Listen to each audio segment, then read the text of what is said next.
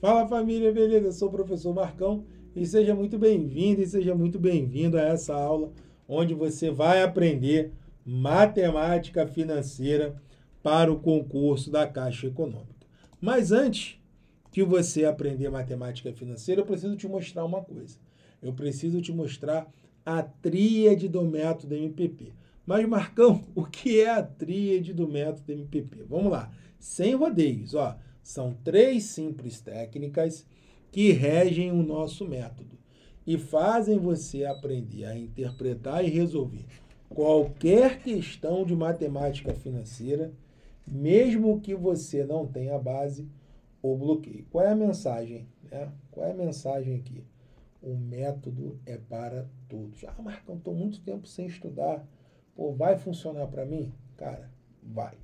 Se você tiver força de vontade, se você tiver disciplina, você consegue aprender para passar na Caixa Econômica. Ainda dá tempo de você salvar, se salvar. É isso aí. É aquela luzinha lá no fim do túnel. Essa é a parada. Né? O método MPP ele pode te salvar. Por que, que o método funciona? Por que, que no curto prazo de tempo os alunos conseguem aprender matemática financeira para passar nos concursos de área bancária? Por causa dessas três simples técnicas. Cada uma delas tem uma função muito definida né, dentro do método. Se liga na parada. Ó. Primeira, segunda e terceira. Vamos lá. Primeira técnica do método MPP é o método 250 ou método das marcações. Para que, que serve a primeira técnica? Com a primeira técnica, você vai aprender a interpretar as questões. E sendo muito sincero, você interpretando a questão de forma correta, você já tem aí metade do exercício. Por isso que o nome é método dos 50. Então, a primeira coisa que nós ensinamos para os nossos alunos no curso da Caixa é interpretar. A primeira coisa é interpretar. Legal? Então, a primeira coisa que você vai aprender é interpretar as questões. Qual seria o próximo passo? Próximo passo, você vai aprender a resolver. Aí já entra em cena a segunda técnica do método, que é a técnica R. Estudar, revisar e exercitar. Estudar, revisar e exercitar. Então, você aplicando né, esse passo a passo, né, num curto prazo de tempo, você já vai estar acertando aí 80% ou mais das questões. Pode acreditar nisso. E a terceira e última técnica é a técnica 2080. 20% de teoria e 80% de exercícios. É isso mesmo que você ouviu. 20% de teoria e 80% de exercícios. 20% de teoria e 80% de exercício. Então é muita prática, é muito exercício e com certeza você vai aprender. Nosso curso teórico já é um curso de exercício. Pode acreditar nisso. Se você seguindo a tríade do método MPP, você vai chegar no seu maior objetivo, que é a sua aprovação. Agora que você já sabe né, a nossa metodologia, vamos aplicar e aprender com o método MPP. Vamos lá. Primeira questão na tela. Vamos lá. E você já sabe como começa, né? Sublinhar para interpretar. Primeira coisa que você vai fazer na questão é interpretar. E para interpretar, nós utilizamos a primeira técnica do método MPP. E a primeira técnica, ela funciona assim, ó. Sublinhar para interpretar. Ó. Método 250 neles. Então vamos lá, família. Começando aqui a primeira questão. Um investidor necessita obter o valor de 138 mil reais a fim de efetuar o pagamento de uma dívida. Nesta situação, considerando que ele possui um capital inicial de 120 mil e que o valor deverá permanecer aplicado por 10 meses e que após este prazo será efetuado o pagamento da referida dívida? Qual a taxa de juros mensal, considerando o regime de juros simples, que ele deve obter a fim de saldar sua dívida sem que haja qualquer sobra? Então vamos lá. Primeira coisa, né? Interpretar. Nós estamos utilizando o método dos 50 para interpretar. Então, interpretando aqui a questão, qual é o modelo? Juros simples ou juros compostos? Pô, Marcão, essa questão aqui é de juros simples. Então, primeira etapa, ok. Né? Já sei qual é o modelo. Né? Eu estou no juros simples ou no juros compostos? Juros simples. E nessa questão de juros simples, ele está perguntando o quê? Qual a taxa de juros mensal aplicada? Acabou. Já interpretei. Então, a primeira etapa, ok. Qual seria a segunda etapa? Resolver. Aí já entra em cena a segunda técnica do método, que é a técnica R. Né? Como resolver? Né? Para resolver essa questão de juros simples, nós vamos utilizar a fórmula. Então aqui é sem rodeios. Né? Juros simples, nós vamos utilizar a fórmula. Então, para de ficar romantizando a matemática financeira. Tem que decorar as fórmulas? Tem. Tem que decorar as fórmulas. E qual é a formulazinha dos juros simples? Juros é igual a CIT sobre 100. Ó, molezinha. Juros é igual a CIT sobre 100. Aí, vamos lá. Já tem a fórmula. Agora eu preciso o quê? Dos ingredientes. Então, o que, que a questão me deu? É, ela deu o capital. Qual é o capital que o cara investiu? 120 mil.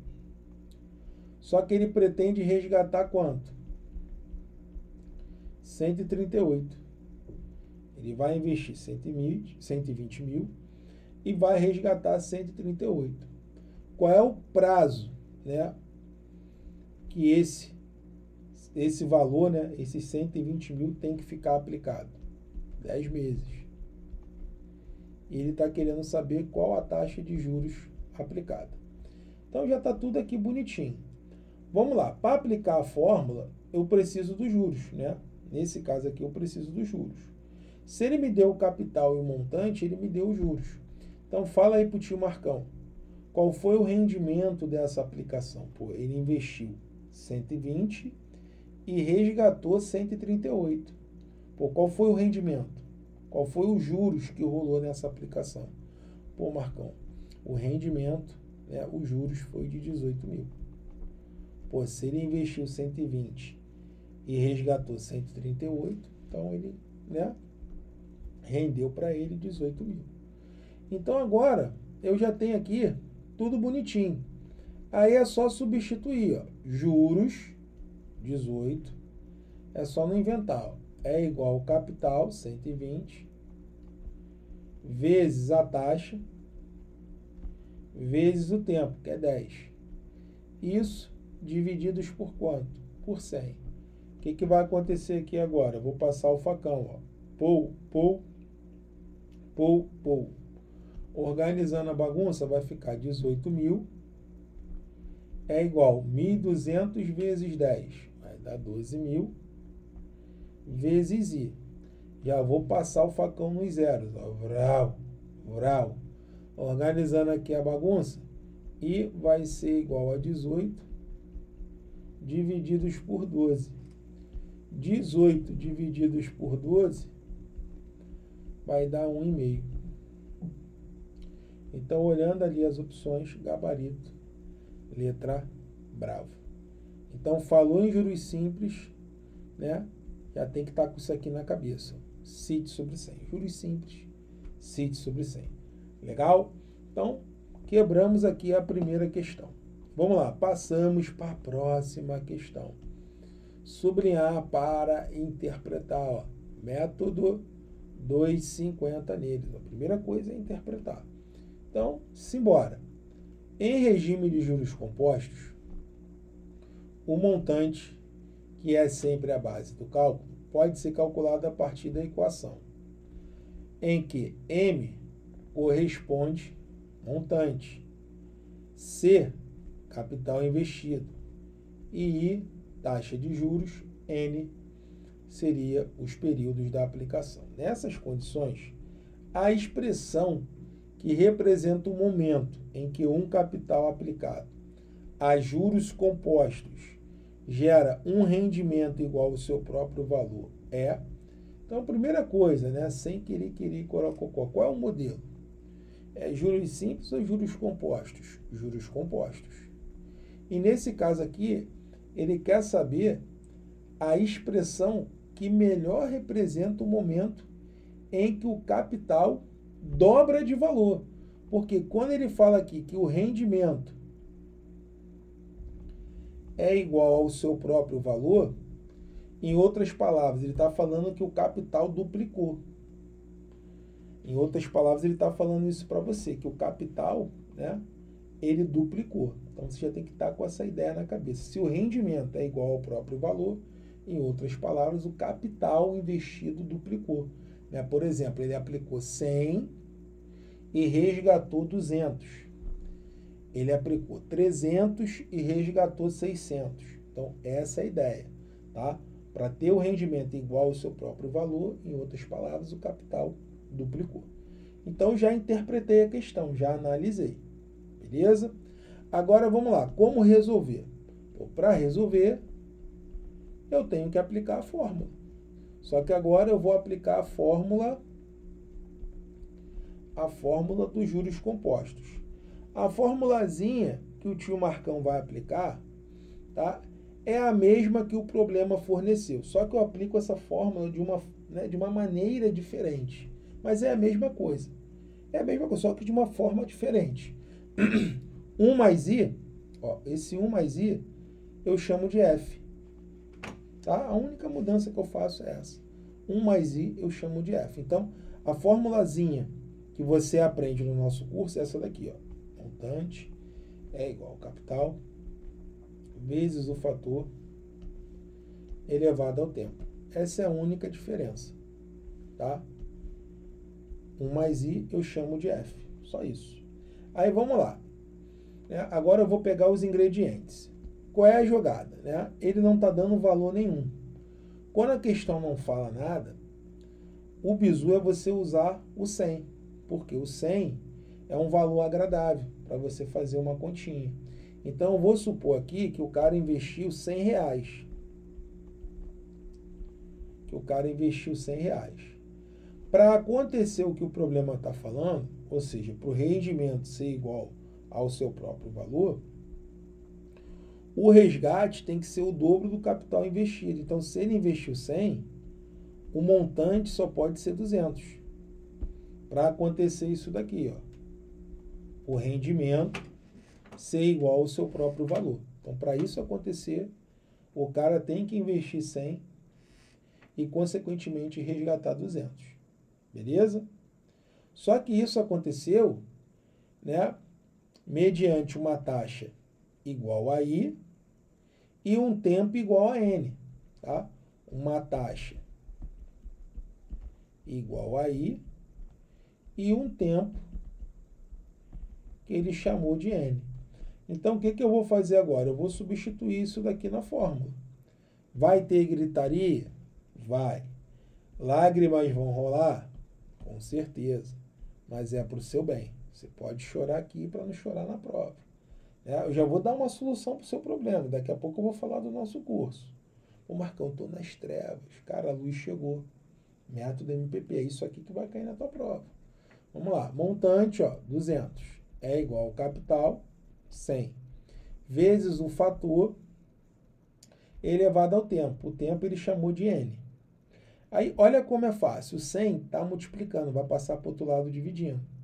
Então, vai ficar 200 divididos por 100 é igual a f elevado a n. Olha que lindo.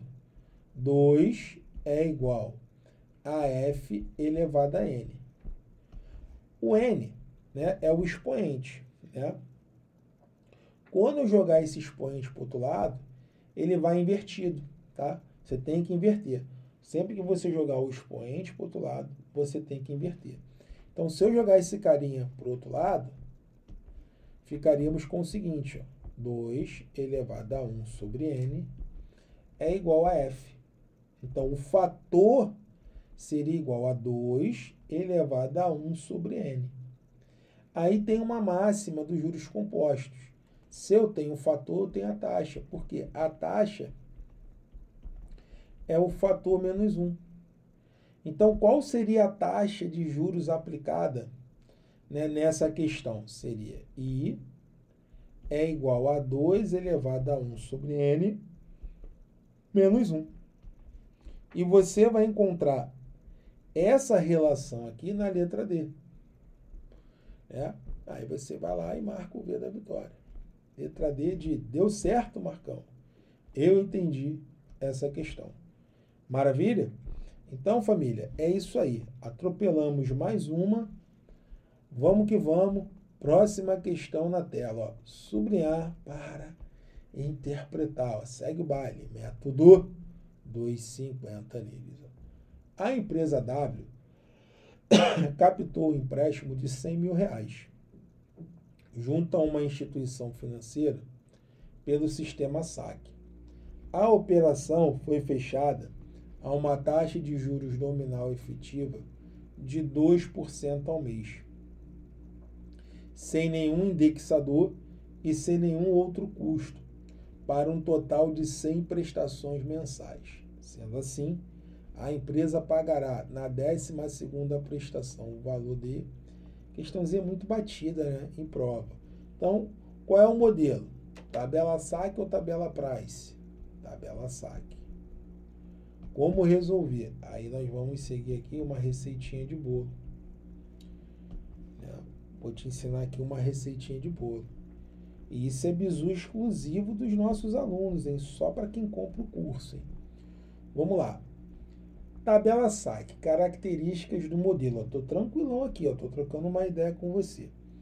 Prestações e juros são decrescentes e formam uma PA. Ó, PA, progressão aritmética.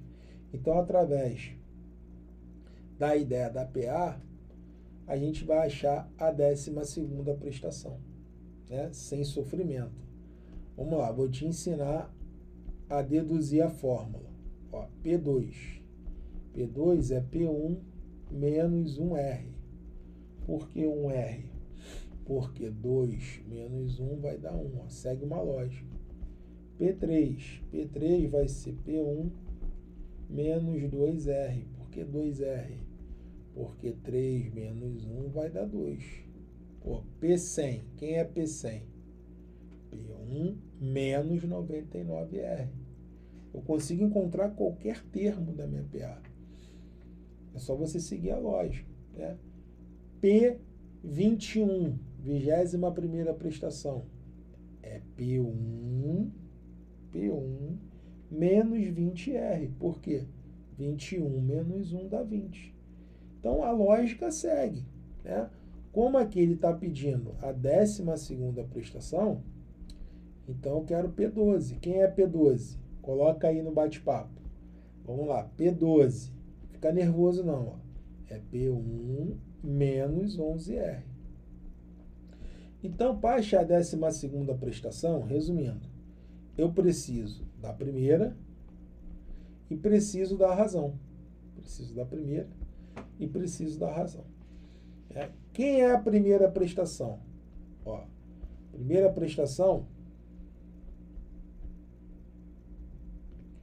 Primeira prestação é o juros 1 mais a amortização. Então, quem é a amortização? Como no sistema SAC as amortizações são constantes, é muito fácil fazer esse cálculo. É, a amortização é o valor da dívida dividido pelo número de prestações. Então, aqui vai ser 100 mil, que é o valor da dívida, dividido pelo número de prestações, que é 100. 100 mil dividido por 100 vai dar mil. Então já tem a amortização. Quem é os juros? Juros 1. Juros 1 é o saldo devedor vezes a taxa. Ou seja, 2% de 100 mil.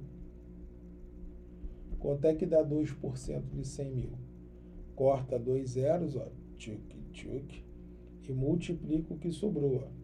2 vezes mil vai dar 2 mil. Acabou. Se eu tenho juros e a amortização, eu tenho a primeira prestação. Quanto vale a primeira prestação? É os juros mais a amortização. Então, a primeira prestação vai dar 3 mil reais. Então, já tem aí metade da questão. Já encontrei né, a primeira prestação. Agora, falta encontrar a razão. Porque para aplicar a fórmula, eu preciso da razão da PA. Como é que eu encontro a razão? É a taxa vezes a amortização. É só você pegar a taxa, que é 2%, e multiplicar pela amortização, ou seja, 2% de mil reais. Como é que eu encontro 2%? Corta dois zeros, ó, tchuk, tchuk, e multiplica o que sobrou. Tudo lindo. 2 vezes 10 vai dar 20. Então a razão da PA vale 20. Se eu tenho a razão, eu tenho a 12 prestação, que é P1, 3 mil, menos 11R, ou seja, 11 vezes 20. 3 mil menos 220 vai dar 2.780. Olhando ali as opções, qual seria o nosso gabarito? Seria a letra C. Marca o V da vitória e vai ser feliz. Vou até voltar aqui para o meu cantinho. Se você quer aprender mais macetes iguais a esse para passar na prova da caixa, matricule-se agora mesmo no nosso curso. Por quê? Olha o que nós oferecemos. Você vai levar um curso de matemática básica, um curso de matemática financeira e a novidade, um curso de língua portuguesa. E claro, você vai ter acesso ao nosso suporte tira dúvida do aluno, que inclusive já fica dentro do próprio site, dentro da própria plataforma. Tá? Além do suporte, você ainda tem um chat que você pode chamar que nós vamos te socorrer, né? Se parássemos aqui já seria sensacional, só que você ainda vai levar três bônus um curso de exercícios da Cisgran Rio de Matemática, Matemática Financeira, um curso né, da Cisgran Rio de exercícios de língua portuguesa e um cronograma de estudos. Né? Então, fica muito fácil né, saber o valor, é só você somar né, a continha de padaria. Se você somar todos esses valores, seu curso sairia por mais de mil reais. Mas hoje você vai levar tudo isso por apenas 12 de 40,98 ou 3,97 à vista. Não é um gasto, é um investimento. Tá legal? Então, se você quer aprender muito mais, cara, matricule-se agora no nosso curso. Tá legal? A Suelen está colocando aí o link do curso. Deixamos também aqui na descrição do vídeo. E agora é com você. Se você quer se aprofundar, quer aprender de verdade, matricule-se no nosso curso. Mas vamos lá, que ainda tem essa questãozinha aqui para a gente finalizar a nossa aula. Sublinhar para interpretar. Método 250 neles. Ó. Um investidor planeja ter um montante superior a 600 mil reais. Para isso, aplicou uma quantia de 200 mil em janeiro de 23 a uma taxa de 12% ao ano a juros compostos conforme orientação do consultor financeiro do banco. Supondo que ele não faça mais nenhum aporte, o número mínimo de anos para que ele atinja a meta por mês exclusivamente desse investimento é igual. Aí você tem ali, ó, dados. Aí começa a tremedeira. Log de 1.12, 0.049, log de 3, 0.477. Então vamos lá. Primeira coisa, o modelo. Juros simples ou juros compostos? Juros compostos. E você já sabe, para resolver, tem que usar a fórmula. Tem que usar a fórmula. É isso? Tem que usar a fórmula. Beleza. Qual é a formulazinha dos juros compostos? Montante é igual ao capital vezes o fator elevado ao tempo. Então, qual é a ideia aqui? O cara vai aplicar 200 e vai resgatar 600. Então, a gente vai trilhar essa meta. Né? Ah, mas ele quer mais de 600. Beleza, mas a gente vai considerar 600. Então, para 600 mil, quanto tempo esse dinheiro tem que ficar aplicado? Aí a gente vai ter uma métrica, para mais ou para menos. Né? Então, a gente vai fazer uma estimativa. Para 600 mil, pô, levou tantos anos. Para ter mais de 600 mil, né? aí você vai ter essa, essa métrica aí, para mais ou para menos. Então, vamos lá. Montante, 600. 600 mil, 600k. É igual ao capital, 200 mil, 200k. Vezes o fator. Qual é o fator da taxa de 12%? 1,12. Elevado ao tempo, que eu não sei. Aí vamos lá. 200 mil, 600 mil. já vou cortar os zeros. Ó. Vral. Vral. Vai ficar ali, ó. 6 é igual a 2 vezes 1.12 elevado a t. 6 divididos por 2 é igual a 1.12 elevado a t. Então, bebezão, chora não, ó. Vem comigo. 6 dividido por 2 vai dar 3. Isso é igual a 1.12 elevado a t. Agora que são elas? Sempre que você chegar nessa situação, né, equação exponencial com bases diferentes e irredutíveis, é a hora de você tacar o log. Né?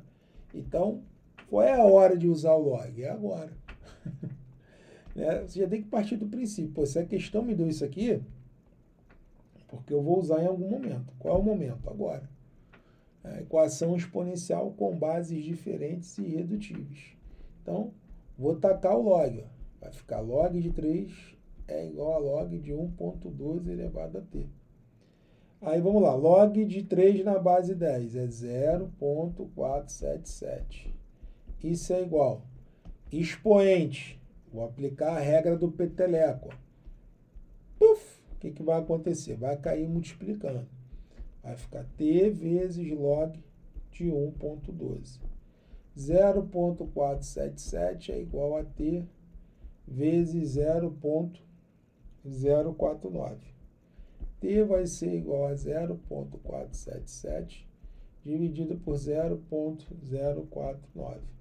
Isso aí vai dar 9, aproximadamente 9,73 anos. Então, qual é a conclusão que você chega? Que para chegar a 600 mil, vai levar 9,73 anos. Só que ele quer um montante superior. Então o tempo é maior que 9,73. Como ele quer o número mínimo, qual é o número, né, dentre as opções, qual é o número imediatamente superior a 9,73? É o 10. Então vai ter que durar aí, ó, esse investimento no mínimo 10 anos para ter um valor superior a 600 mil. Então, gabarito, letra B. E essa foi a nossa última questãozinha.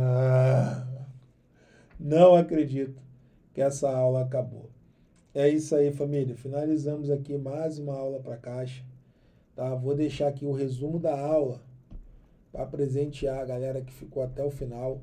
Para você pegar esse resumo, você tem que entrar no grupo VIP da Caixa legal? Que daqui a pouco vamos disponibilizar esse material para você. E lembre-se que o estudo é a estrada que levará você onde deseja chegar. Insista, persista e não desista. Matemática aqui, ó, para passar. Tamo junto, família. Um abraço. Fui. Valeu.